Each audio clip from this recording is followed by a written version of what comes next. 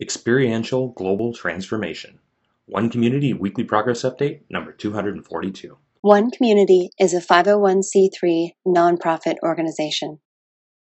We are creating open source and free shared blueprints and resources, tools and tutorials, and do it yourself instructions for highest good living.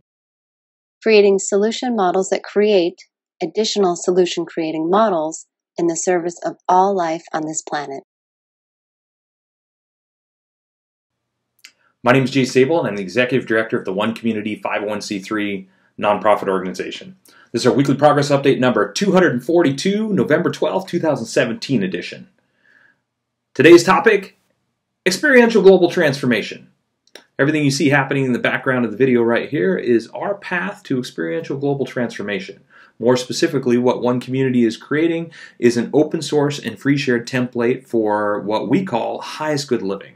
And a path to being able to experience what we call highest good living. Now, for us, highest good living is living based on sustainability and covering all the foundations of physical sustainability and combining them with the foundations of what we call emotional sustainability. Physical foundations are food, energy, and housing built with sustainable infrastructure. And then the emotional foundations would be highest good approaches to education, highest good approaches to economics, fulfilled living practices, and true earth stewardship putting these things together is an evolution of sustainability that we think most people will consider to be better than the way they're living right now, and inviting people to participate. Like a sustainability bed and breakfast, only it's a complete sustainable teacher demonstration community, village, and ultimately city that operates as a hub for teaching others how to create teacher demonstration communities, villages, cities, and hubs as well. Or just sharing the experience of the of living at a place like one community where everything a person needs is within walking distance, where the air quality is clean, where the air is clean, where the water is clean, where the food is grown without pesticides and herbicides and poisons and things that you wouldn't want to put in your body, and where all of your recreational activities, educational op- opportunities, social architecture, all these things are within walking distance and inviting the world to participate. A place where eventually Tens of thousands of people will be able to visit annually and experience what it is that we do and take all of it or any aspect of it and be able to replicate it for yourself. Creating a teacher demonstration hub that anybody anywhere in the world can come and visit, experience. If you like what it is that you see, you can either replicate the complete model totally casting off the current economic models and creating a place where nobody needs to work a traditional job. Instead, the entire environment is designed to provide all the needs for everybody that lives there and to grow and support itself through sharing itself through ecotourism. Of course, I've said this before in previous videos, but it's been a while. The irony of one community is that it's designed to be an amazing place to live and that people will pay to come and visit that place. And it's an open source free shared model designed to replicate itself. So the irony is, is that people will pay to come and visit that place, but the good news is it's designed to teach and share everything that's necessary so that people can replicate it for themselves and create that model after experiencing it if they like it, so that they can live that way as well. And this is why I call it experiential global transformation, because we believe that once people experience what it is one community is purposed to be and what it is evolving into, we believe that the vast majority of people that experience it will realize that it really doesn't make a lot of sense to vacation in a place like that if you could live full time in a place like that. And that's what we want to do. We want to demonstrate the experience of living in a place like that and show everyone how to replicate it for themselves. And because it's open source, because it's all free shared, it's designed so that people disagree with the way that we're doing something or think that they can do it better or have a better idea Great, make it better. And if you want to open source and free share your modifications, adaptations, and designs, one community will help to promote that, promote your work, promote your own village, your own community, your own teacher demonstration hub, just like we promote ours to help spread the word, get people to come and visit, experience that as well, and so that there are more and more options for people to replicate and build off of. Through this process of experiential global transformation, we see a path to creating a truly sustainable world that will benefit everybody within our lifetime. creating self replicating teacher demonstration communities, villages, cities, and hubs. Self replicating because we are here to demonstrate them as easy enough, affordable enough, and attractive enough that others will want to replicate what it is that we're doing. And that's the experiential global transformation aspect of what it is that we're creating. Everything that you see happening in the background of the video here is our models that we will be inviting people to come and experience come stay in a shipping container village or an earth bag constructed village or in a straw bale village or a cob village or a treehouse village. Come and stay in what it is that we're creating. If you like what it is that you see, then either join the team at one community or join the team helping to build these in other places around the world, or start your own, bring together your own team, or just take it and build it for your own use. It doesn't have to be a teacher demonstration community village, city, or hub, but it is designed as a teacher demonstration hub that if you invite people to participate, it will generate sufficient revenue to get people out of debt and to continuously expand itself, to be able to grow and evolve the models for individual use or group use, however you want the revenue stream is built into the model such that the more you share it and the more successful we as an organization are at making the place that we're creating fun to live in, enjoyable to invite, to experience and share, the more successful it will be. And so it's built on win win win relationships win for the people living there, win for the people visiting, and win for the planet. And of course, surrounding communities on the smaller scale, but on the biggest scale, win for the planet. And we believe that if we can create the self replicating model, well, we know if we can create a self replicating model and you run the numbers, within 30 years, if it were to double each year, 50 people were to start, to start one community, and the next year that inspires two more groups to start a version of one community. And then the year after that, if that inspires four more groups, and then eight, and then 16, and then 32, as media attention grows, as more and more open source tools, tutorials, resources, and blueprints are created, as the options become more diverse and more available and easier to replicate because more open source plans are being created, the faster the idea will spread, and that's what this model is all about. If we don't create a completely sustainable civilization within our lifetime, that's okay. We're still taking huge steps in the right direction. We will create an open source foundation for housing, food, energy, education, uh, economic models, all the different components of our project, fulfilled living models, the stewardship models, everything open source and free shared so people can either replicate the complete aspect of our project, the complete project, or just individual components for personal use, whatever it is that people want. This is how One Community is creating world change, and this is our idea for experiential global transformation. Now, let's check out one week of our team's progress and accomplishments working towards these goals. Here it is. The one community approach to highest good housing is eco artistic home building that is affordable, sustainable, do it yourself duplicable, resource and space efficient, and consists of seven different sustainably constructed village models. This week, the core team, which includes the Pioneer members plus those helping who don't wish to be individually acknowledged, continued SketchUp design for the open source outdoor areas of the Recycled Materials Village Pod 6. This week, we designed the Horseshoe game area, worked on the Croquet area, and finished designing the Domino game area. The core team also redrew the Treehouse Village Pod 7 floor plan and added this new image to the website. In addition, the core team continued working on the Murphy bed instructions, continuing to test different layouts. Shown here are the latest layouts with this week's revisions and the core team continued creating the thermal leg page. This week, we added and organized all of the data and images, created all the different sections, and proofread the page. We also created click to enlarge options for all the detailed images.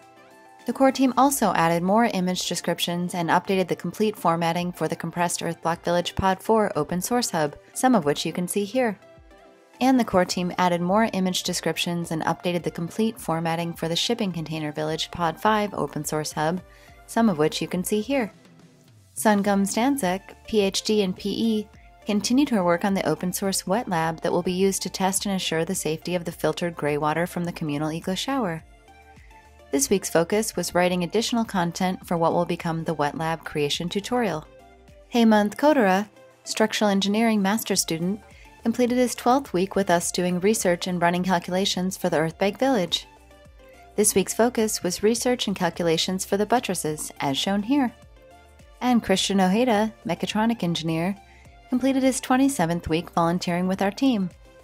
This week's focus was taking over the vermiculture toilet chamber designs. You can see some of this last week's work in progress designs here. Dean Schulz, architectural designer, continued helping us create quality Cob Village Pod 3 renders. Here's update 89 of Dean's work, rebuilding the pantry so it will have glass walls. Hamilton Matika, AutoCAD and Revit drafter and designer, also finished his 62nd week helping with the compressed earth block village design and render details. This week's focus was a new final render of the third floor rooftop looking west, new section view images, and working on the 3D details needed so we can create quality renders of the front of the village. Dan Alec, designer and illustrator, completed his sixth week working on the compressed earth block village render editions. This week, he finished adding people and additional aesthetics to this final render of the Earth Block Village massage room looking northeast, which you can also now see on the website. Apart in Tandon, architect, continued her work on the compressed Earth Block Village external elements. What you see here is her 38th week of work, finishing the presentation for Zones 2 and 4, which is now live on the website also. Samantha Robinson, graphic designer, completed her 14th week of work on the interior design for the living structure of the Treehouse Village. This week's focus, as shown here, was more unwrapping and texturing of the stairs and bed components and related objects. One Community is also creating an open source duplicable city center. It is designed to be LEED Platinum certified, provide 12 guest rooms, dining for over 150 people, and laundry and recreation space for over 300 people, all while saving money, time, space, and resources. Hayes Lay, structural engineer, continued work on the City Center structural engineering tutorial. What you see here is the seventh week of writing content. This week's content focus was adding more details to the snow load section, as seen in these screenshots taken during their weekly collaborative call. Falguni Patil, mechanical engineer, completed his 11th week volunteering with the team. This week's focus was editing his new content on the Highest Good Energy page and thoroughly reviewing the hydronic and sustainable water heating pages to understand the systems and update the energy rollout spreadsheet with new values and items. Dipti Dondarkar, electrical engineer, continued with her 56th week of work on the lighting specifics for the city center. This week's focus was fixing software problems and continuing to update the second floor zones over the mezzanine level, as shown here.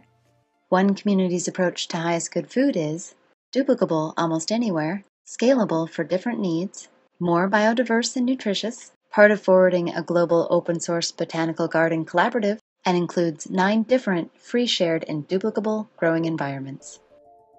This week, the core team continued researching data for nutrition guidelines for our food self sufficiency transition plan and sustainable food nutrition calculations page, and organized and prepared items to add to the website, as you can see here. One community's approach to highest good education is designed for all age groups, adaptable to any schooling environment, inspiring and fun for all participants, includes national standards, all subjects, lesson plans, teaching strategies, learning strategies and tools, classroom design, and more. This week, the core team continued adding to the education, evaluation, and evolution process open source pages and tutorials. This week, we created the formatting and began entering the content for the collaborative ongoing growth strategies page, as you can see here. The One Community approach to highest good society is globally focused, individually enriching, cooperative and collaborative, includes a highest good network and application, four different economic models, and combines fulfilled living and true earth stewardship for the benefit of all people and all life on this planet. The core team and Ashwin Patil, web developer, finished the edits and updates to the Highest Good Society and Highest Good Energy search engines. Both are now 100% complete and live on the site. Samya Manohar, software engineer, web developer, and net application developer, continued her work developing the Highest Good Network software. This week's focus was testing the schema with MongoDB and researching the badges and badge relationships, some of which you can see here. Jagannathan Shankar Mahadevan, mechanical engineer, and Aravind Vasudevan, BA in mechanical engineering, continued working on the climate battery designs and research by using these equations to start building a new spreadsheet that will calculate how much heat is stored in the battery at any time during the year. There you have it There is one week of our team's progress towards experiential global transformation and creating one community as a place that you can actually come and experience and visit and take everything that you see as open source and free shared content, replicate it if you want. If you'd like to receive an email every time one of these updates comes out, you can send an email to onecommunityupdates at gmail.com and we'll add you to our newsletter list. If you'd like more details, more specifics, links to all the open source content, all the free shared things that we're creating, everything it is that we've talked about in this video, and so much more, visit our written blog or visit our website. Check it out. There's, there's more content there than I could ever describe in one video. Take a look at what we're creating. It's immense. Uh, if you'd like to support us, the easiest way to do that is through sharing our information. We're on all the different social media networks, make it as easy as possible. Of course, subscribing to our YouTube channel is a great way to start. We are also on Facebook, Twitter, LinkedIn, Tumblr, Reddit, about 15 other social media networks. So sharing our information, liking this video, liking our information, all that is hugely helpful. Of course, I'd like to say thank you, of course, to everybody who donates to our project. We are 100% volunteer, unpaid staff, so every single dollar that's donated to us goes towards our open source goals, supporting our website, uh, infrastructure, evolution, and all of our open source creative process, and maintaining an organization, which is a global organization like One Community. So thank you for all the donations that we get. And of course, thanks for watching to the end. We appreciate the support. Watching all the way to the end of the video is uh, not something that most people do. So if you're watching this and you've made it to the end, thank you very much for watching to the end. And of course, until next week, we will keep on keeping on. Thank you. Have a great week.